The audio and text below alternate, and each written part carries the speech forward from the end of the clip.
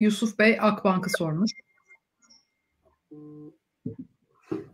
Bu arada Ereğli'yi soracağım arkadaşlar. Ereğli ısrarla yazanlar için. Ee, bankalar tarafında da son dönemde e, yani bankacılık krizi başladığında en sağlam bankalar dünyada bizimkilerdi ve hep yukarı yönlü hareket yaptırılıyordu bankalara. Ama e, bu krizin e, sonlarına doğru olumlu açıklamalar gelmeye başladıktan sonra da bizim bankaları satmaya başladılar.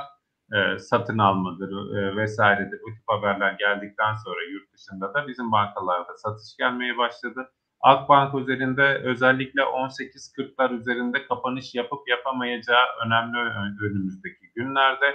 Bu seviye üzerinde kapanış yaparsa yeniden yukarı yönlü olumlu diyebileceğiz. 19-10'lara doğru bir hareket görme ihtimalinden bahsedeceğiz. Ama 18.40'lar aşılamıyorsa Akbank'ta 17-30'lara doğru geri çekilme ihtimalinden bahsedilir diye söyleyebilirim. Peki son